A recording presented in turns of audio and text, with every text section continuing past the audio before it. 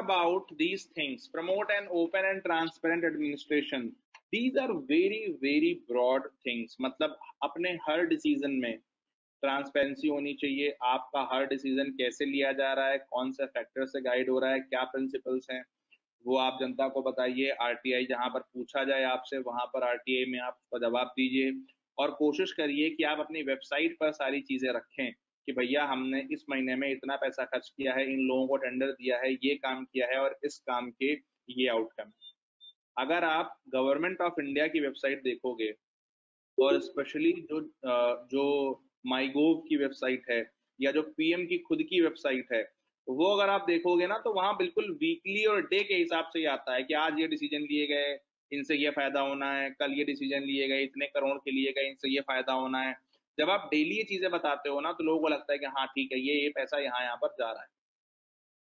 So the first art अच्छा ये ये बहुत इंपॉर्टेंट इसलिए भी होता है, आपके कैरियर परस्पेक्टिव से भी। पहली चीज़ तो ये होती है ना कि आप लोगों को लगते हो कि हाँ यार, ये काम कर रहा है।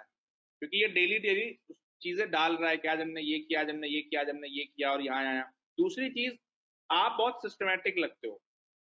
कि हाँ ठीक है यार, इसने ये काम, इतने पैसे यहाँ खर्च किया और ये टेंडर डाला, ये क्या। और तीसरा लोगों को पता होता है कि इसमें एक पैसे का भी कोई चोरी नहीं है या कोई आप इसकी प्रॉबिटी पर या ऑनेस्टी पर आप उंगली नहीं उठा सकते। क्योंकि ये पूरा डेटा के साथ बता रहा है कि भैया हमने ये टेंडर डाला था, ये काम यहाँ से किया, यहाँ से किया।